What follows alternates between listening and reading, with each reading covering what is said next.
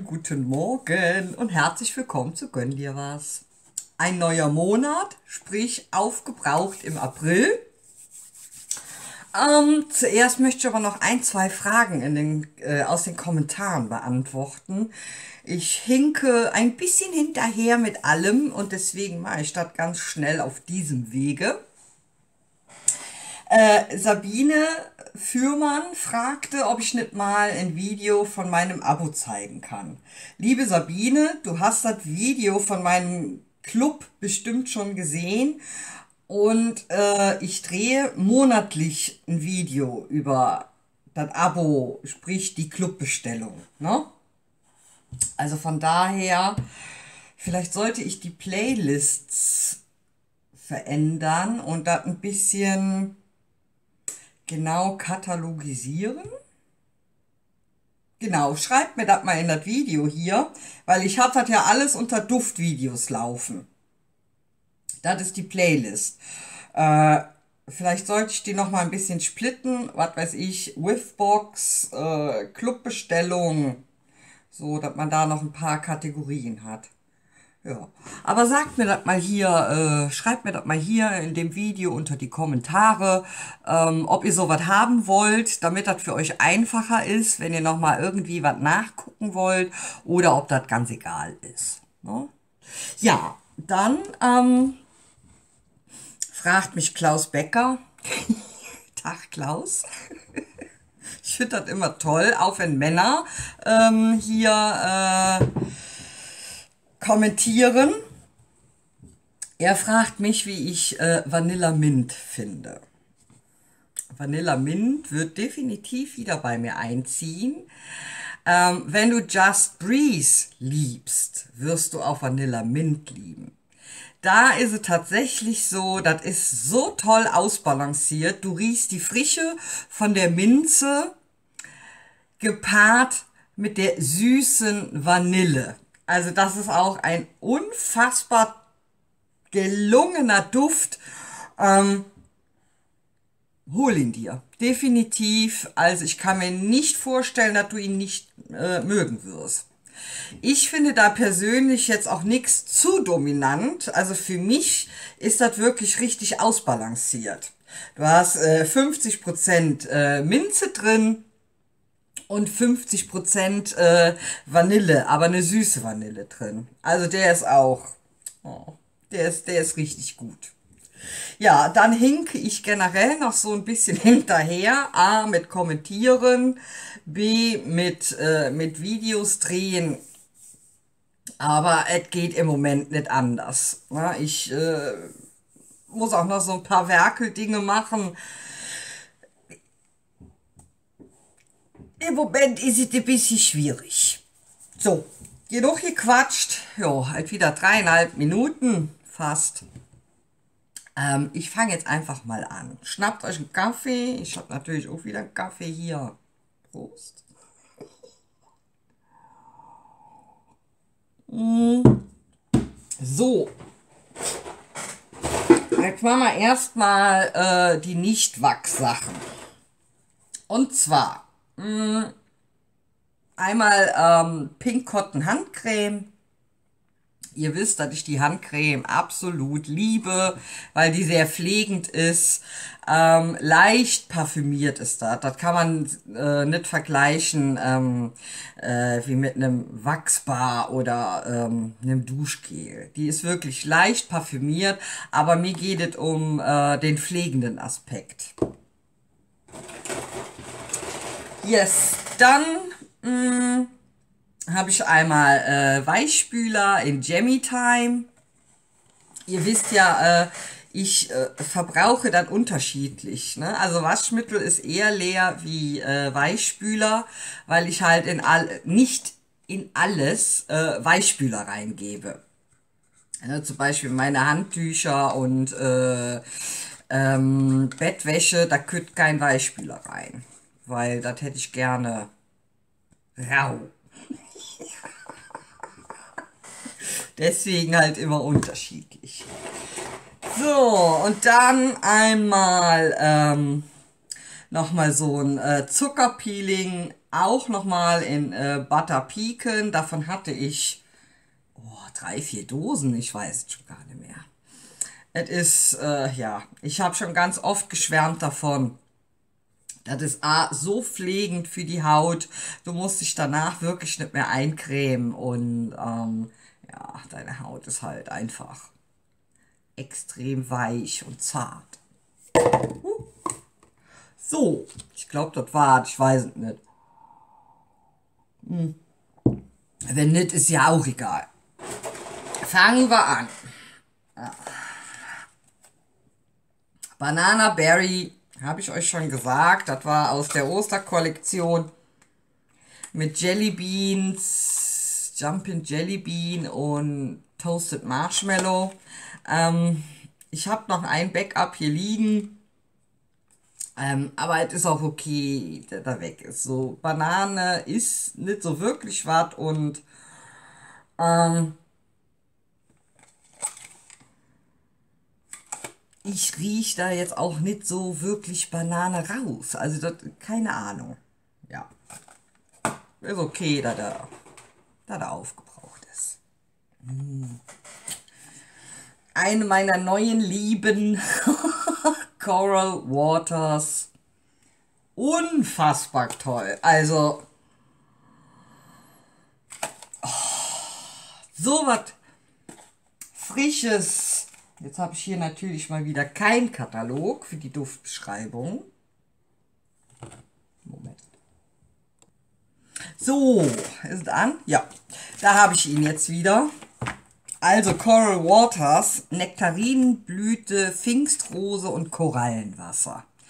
Unter der frische Kategorie und da gehört er auch wirklich hin. Der ist so interessant. Du riechst die Frische, du riechst aber auch das äh, Florale gepaart mit ein bisschen süß. Aber ähm, das Frische steht im Vordergrund und äh, der florale Ton kombiniert mit diesem Frisch ähm, macht den unfassbar interessant. Also auf jeden Fall für mich. Und Coral Waters ähm, äh, ist auch wirklich ein Powerhouse auf jeden Fall für mich. Den nehme ich extrem lange wahr. Der ist einfach lecker. Pima Cotton ist ja einer dieser frische Wäschedüfte. Performt auch super, aber ich äh, bin immer noch hier Clothesline und Clean Breeze. Pima Cotton ist die ähm, ja, ich sag jetzt mal die sanfte Schwester dazu.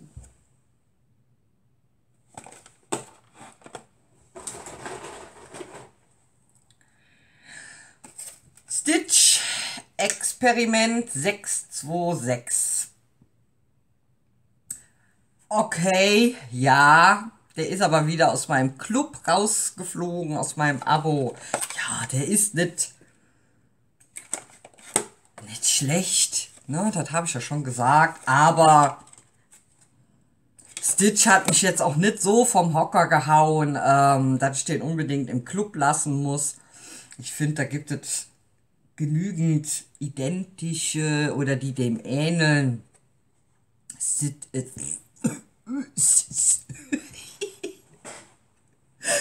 Stitch ist wieder raus.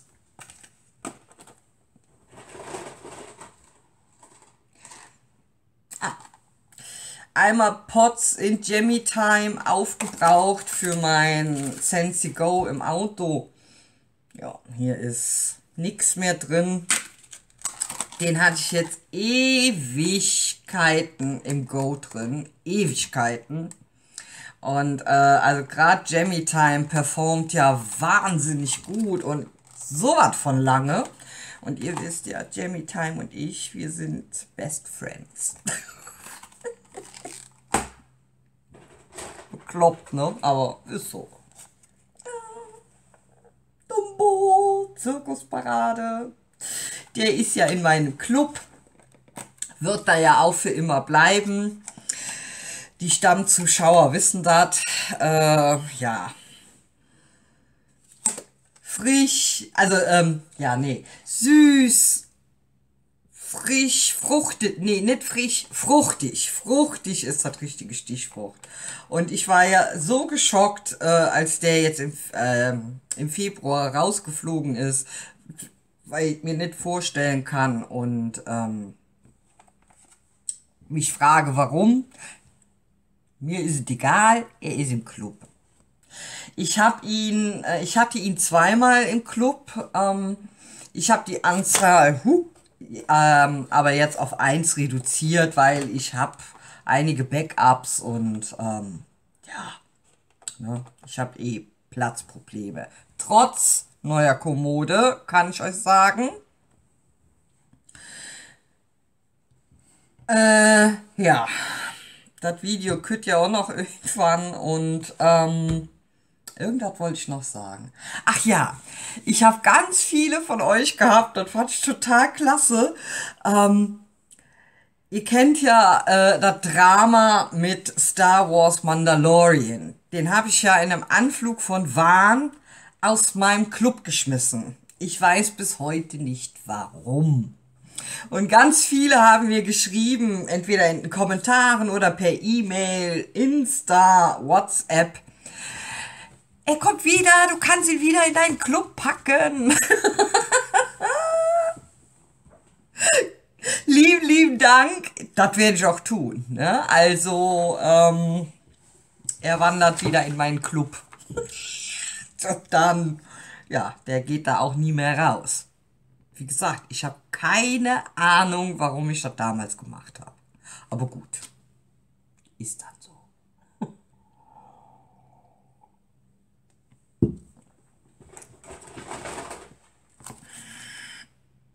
Bora Bora Blossom, den finde ich auch ähm, richtig schön äh, floral. Ähm, und der ist auch wirklich stark. Also Bora Bora Blossom nehme ich tatsächlich auch sehr lange wahr. Das ist ja bei, also Blumig und ich, das ist ja auch manchmal schwierig. Wenn das so extrem in die pudrige Richtung geht, dann habe ich da Huddel mit. Aber Bora Bora Blossom Inselfrüchte, äh, Orchidee und Veilchenblatt. Ähm,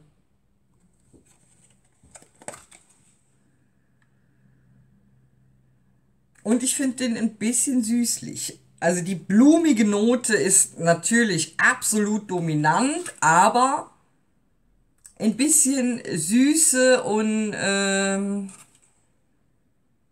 bisschen zitrig ist der auch für mich. Ob das stimmt, kann ich ja, weiß ich ja nicht, ne? Das ist halt meine Nase. Aber den finde ich wirklich toll. Ich baue hier wieder Zehner-Türmchen, dann habe ich es einfacher. Toasted Marshmallow. Ist ja auch im Club, genauso wie Jumpin' Jelly. Nee, Jelly Jumpin' Bee, was weiß ich hier. Den Jelly Bean, den super schön.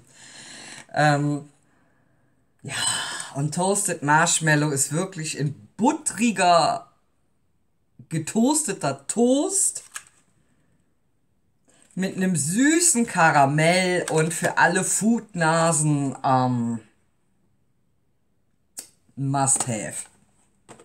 Weil das auch nicht so äh, manchmal riecht das, dieses Karamell ja wirklich, wenn das ein extrem dunkles ist, so total verbrannt. Also zumindest für meine Nase. Und das ist mir dann zu stark und ja, nicht süß genug und ähm, aber Toasted Marshmallow. Deswegen auch im Club. Ja, ein Klassiker, Pink Haze. Ich kann es immer noch nicht auswendig. Ähm, der läuft unter blumig. Warum, weiß ich nicht. Da sind Beeren drin, Nektarinen, Schlagsahne in einer Marshmallow, äh, im Marshmallow Fondant. Ich weiß nicht, warum der unter blumig läuft. Wahrscheinlich wegen den Beeren. Äh, blumig ist hier gar nichts. Du riechst tatsächlich die Beeren raus, aber halt alles richtig schön süß und dekadent und ähm, ja, Pink Haze ist nicht ohne Grund auch ein Bestseller und äh, ich hoffe, der wird doch bleiben.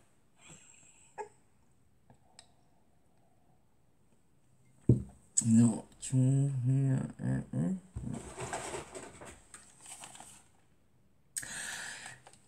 Summer Sunshine. Jo. Also, ähm, wo bist du? Hallo? Manchmal verschwinden die ja einfach. Ja, unterfruchtig. Ananas, Kokosnuss und Mandarine.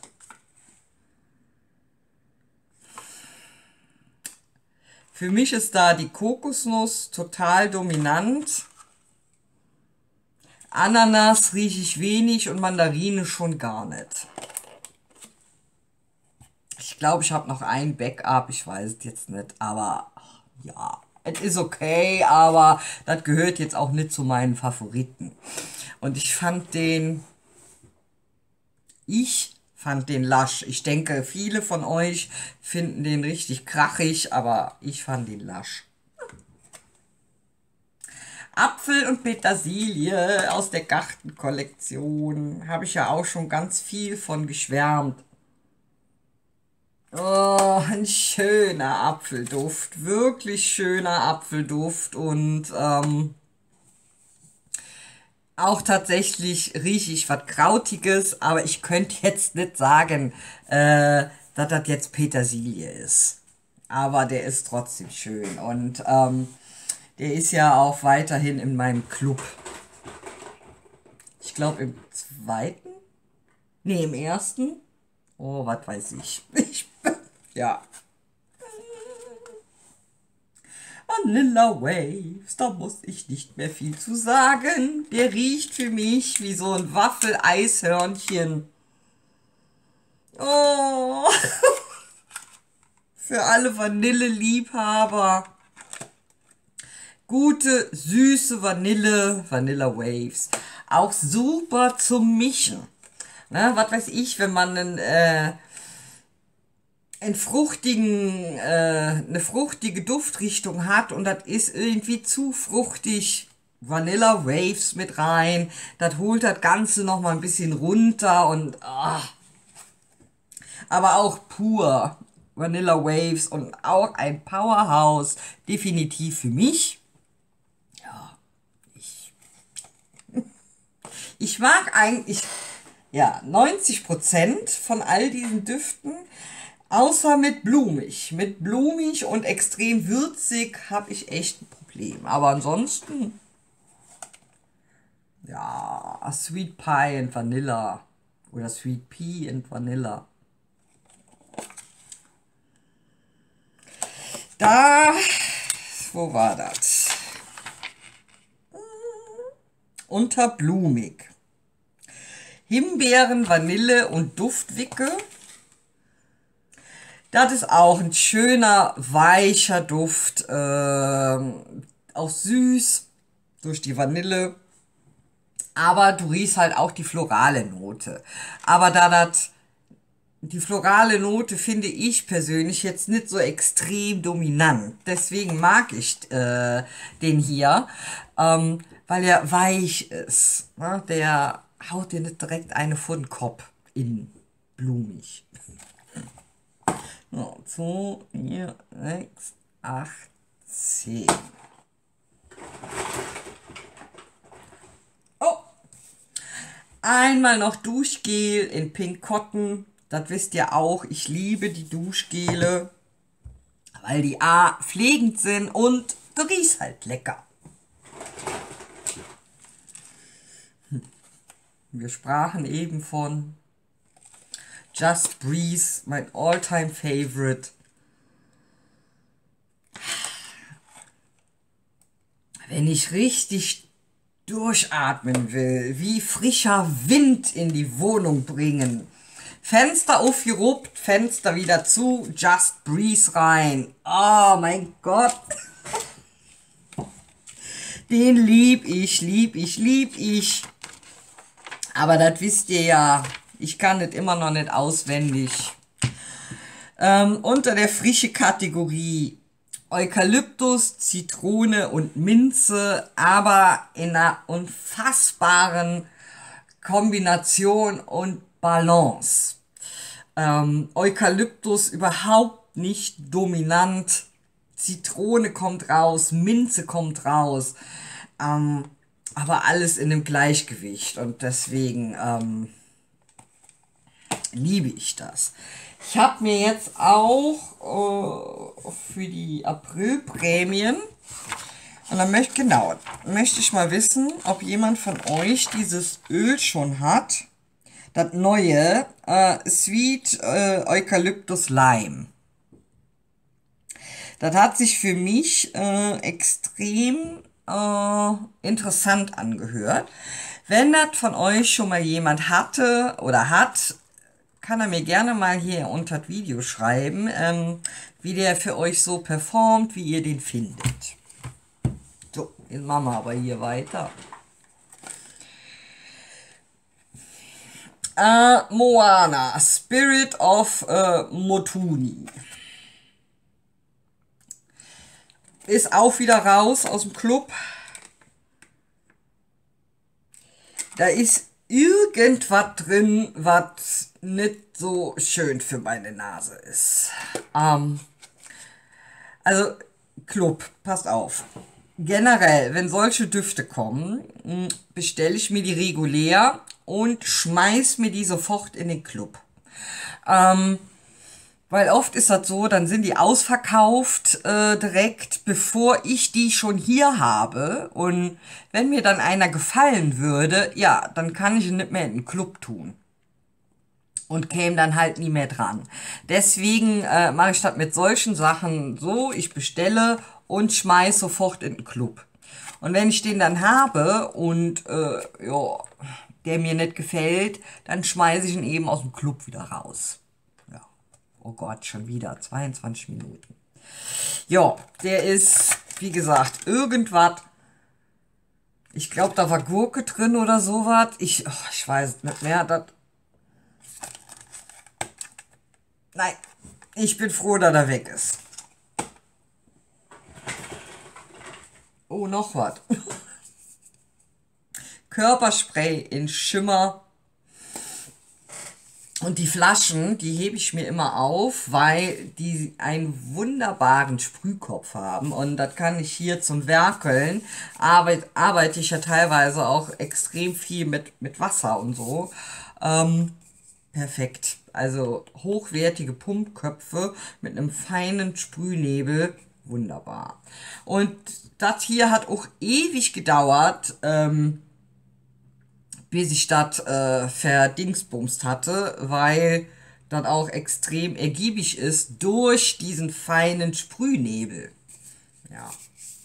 So, deswegen, die Flasche kommt dahin. Genauso hebe ich mir auch äh, die Dosen immer die Dosen immer auf, weil ich die auch äh, zum Werkeln ziemlich toll finde. Amazon Rain. Geht immer.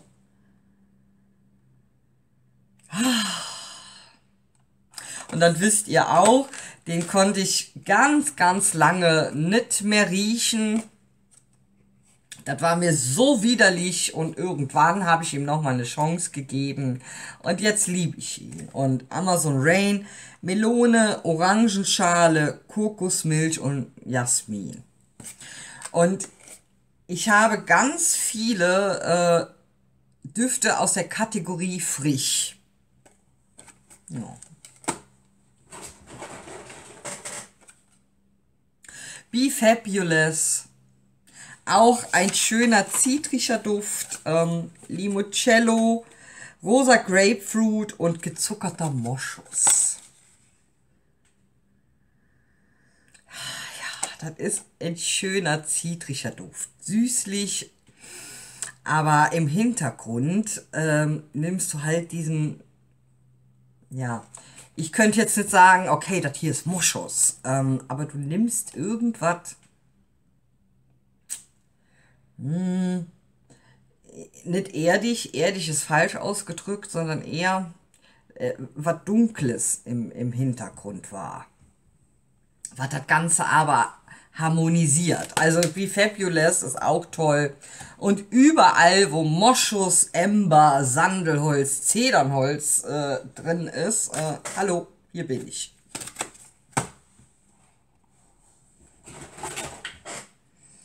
Oh. Mm. Kirschlimonade. Kirschlimonade. Wirklich Limonade mit Kirschgeschmack. Den finde ich gut für einen Tag. Dann ist vorbei mit Kirschlimonade. Hm, Nehme ich so gut wie nichts mehr wahr. Hm, und ich finde, äh, also für mich, er riecht dann irgendwie komisch. Und wie gesagt, da ist dann nichts mehr mit äh, Limo. Aber ich verdüftel den. Ich habe auch noch einige Backups, weil der für einen Tag wirklich, wirklich nach Kirschlimo schmeckt. Äh, riecht. Nicht schmeckt, riecht.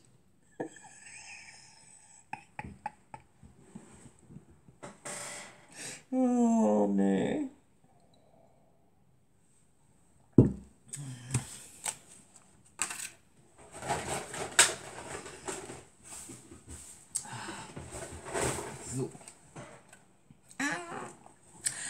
Ähm, jetzt wollte ich schon Dumbo sagen. Wie heißt denn? Winnie Pooh. Den Duft lieb ich sehr. Winnie Pooh habe ich als Kind schon nicht gemocht. Äh, die Stimme von Winnie Pooh, das macht mich aggressiv. da kriege ich Puls. Ich mag Winnie Pooh nicht. Bitte keine Hater-Kommentare. Aber ne, Winnie Pooh geht gar nicht. Schweinchen, Tigger, IA, alles kein Thema. Aber Winnie Pooh, no. ja, und 100 Ark Wood. Also finde ich als Disney-Duft äh, jetzt auch für Kinder ein bisschen untypisch weil der nicht so fruchtig ist. Und das ist aber auch das, was mir gefällt. Ähm, da sind Baumwollblüten, Jasmin und Vanille drin. Und Baumwollblüten nimmst du wirklich gut raus und auch eine florale Note gepaart mit was Süßem. Also, ja. Winnie Pooh, der Duft ist toll. Ja, nochmal Coral Waters. Habe ich im April verdüftelt, wie blöd, weil. Oh, toll. Na, hier gleich runter.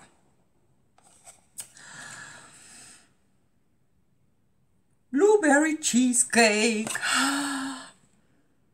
Oh, das ist so ein Powerhouse. Dekadenter Duft. Leider habe ich ihn nicht mehr im Club und ja, habe äh, eine ganz liebe Abonnentin, die dafür stirbt.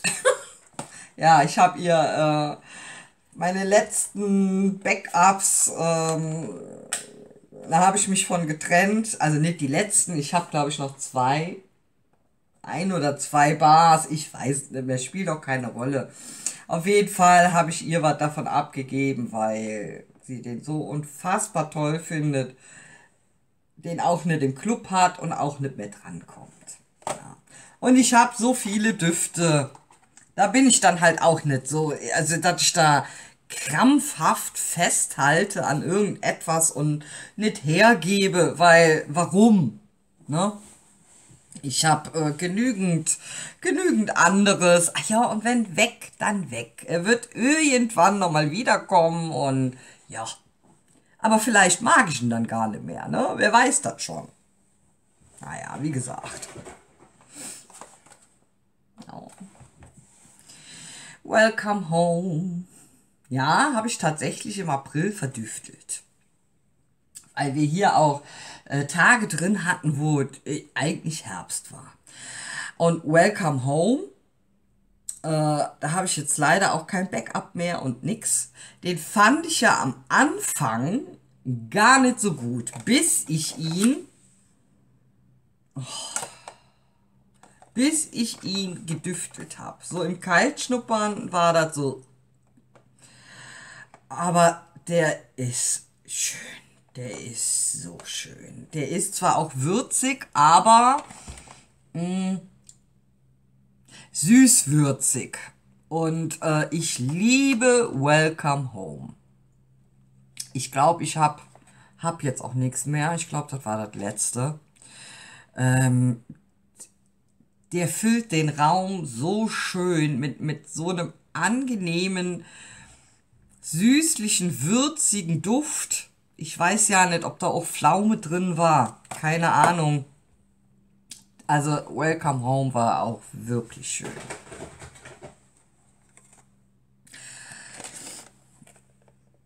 Oh boy von Mickey Mouse den feiere ich auch. Also, ähm, da ist äh, saftige Grapefruit, frische Mandarine und gezuckerte Vanille drin. Finde ich richtig klasse. Und äh, performt auch gut. Also, oh boy, tipptopp. Oh Gott, hier hatte ich noch aus dem Herbst Apple Cherry Strudel. ja, man muss ja auch mal, ne? Der war auch schön. Da hat ja äh, die Kirsche war sehr dominant, dann kam der Apfel. Das war irgendwie nach einem Tag weg und dann kam ja das Bäckerei, der Strudel kam dann. War auch schön. Mir fällt das heute immer wieder runter hier. Totally Mini. Vom Clamshell erschlagen. Totally Mini finde ich auch gut. Äh, rosa Melone, Hibiskusblüten und saftiger Apfel. Und die unterscheiden sich total, die zwei. Und das finde ich gut. Ähm, eine richtig schöne Kombination ist Mini und ähm, Mickey ist mehr, mehr süßlich. Mini finde ich äh, mehr fruchtig. Also, aber beide wirklich toll. Ich kam jetzt schon auf die wahnwitzige Idee, ob ich nicht von den, äh, den Disney Clamshells mir die Cover abschneiden soll für zu sammeln. Das habe ich aber dann ganz schnell wieder verworfen, weil Nein. Macht das jemand von euch? Könnt ihr mir ja mal sagen.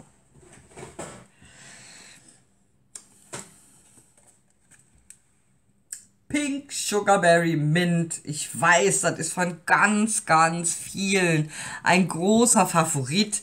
Genauso auch von mir. Das war ja der Duft des Monats, ähm, März. Unfassbar, was die da kreiert haben. Der ist auch in meinem Club. Oh, der wird da auch drin bleiben.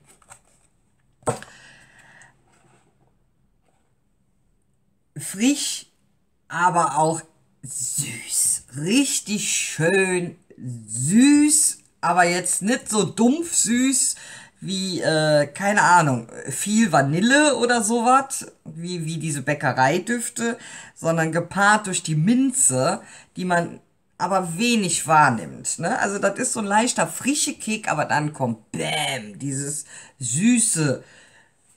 Ihr wisstet ja selber, ne? Die, die den Duft haben, also Pink Sugarberry Mint, lecker. Paradise Punch. Ähm, ähm, ähm, ähm, ähm, ähm, wo ist er? Ah, hier. Orange, Zitronensaft, Acai-Beeren und Sternenfrucht. Der ist wirklich schön. Und da habe ich am Anfang gedacht, oh, der wird bestimmt nicht gut performen. Fehler. Also Paradise Punch ist durchaus sehr, sehr gut wahrnehmbar. Und ähm, also ich finde den schön. Da habe ich, glaube ich, auch noch ein oder zwei Backups.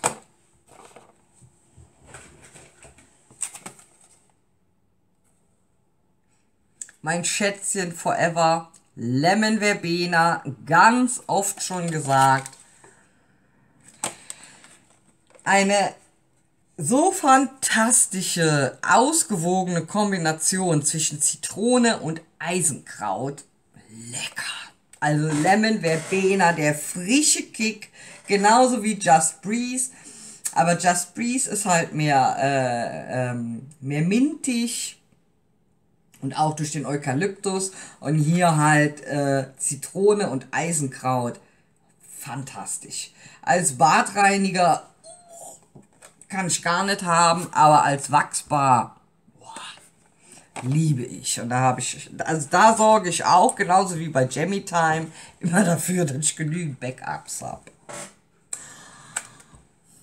Marvel, nein, Real, Re, Realms, oh, was weiß ich, Marvel.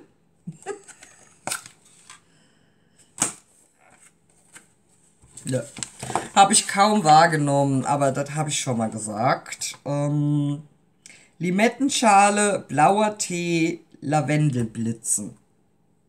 Trotz Lavendelblitzen, ne. Also kaum wahrnehmbar für mich. So, noch drei Stück, ihr Lieben, dann seid ihr wieder befreit. Ja. Duft des Monats Mai. Den habe ich vorher schon bekommen.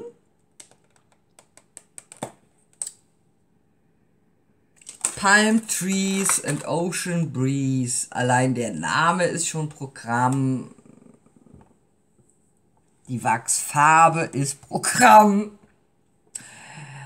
Er wird des Öfteren hier bei mir einziehen, weil aquatisch, frisch, tropisch, ähm, boah, den kann ich mir extrem gut bei 85 Grad im Schatten vorstellen, wenn hier richtig Sommer wird.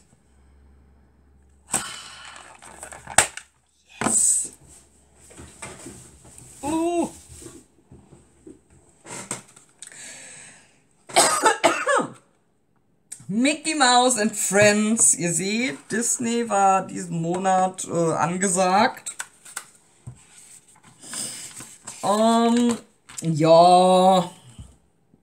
Pfirsich, Orangenschale, Vanille. Ja, also. Hab ich gar nicht gezeigt, ne? Mm. Der genauso wie äh, Marvel finde ich von der von der Duftabgabe her ziemlich schwach. Ähm, oh Boy und Totally Mini, genauso wie 100 Arc Wood, Winnie Pooh, finde ich extrem gut. Aber die beiden. So, der letzte, dann sei da. Oder auch nicht. sei da wieder befreit. Also, jetzt fällt hier aber alles. Strawberry Basil aus der Gartenkollektion. Das hier war das Clamshell, wo ich eigentlich nichts wahrgenommen hat und das hat sich auch nicht verändert während des Düftelns. Oh, ich weiß nicht, ob ihr das Piepen hört. Meine Waschmaschine ist fertig. Ähm, zweimal gedüftelt, weil ich jedes Mal vier Cubes reinhauen musste und ähm, noch nichts gerochen habe. Aber ich habe ja, habt ihr ja gesehen, in meinem Club-Abo habe ich ja neu bestellt und äh, der performt ganz anders. So, ist ja doch mehr gewesen, wie ich gedacht habe im April. Oh jo. Ist auch schnell gezählt. 31 Bars. Das schreibe ich mir wieder auf. Im März waren es 45. So, April. Ich finde das spannend. Ja. Ach so, ich bin auch noch gefragt worden, ob ich nicht äh, ein Video drehen kann, ein monatliches, über meine 10 Lieblingsdüfte.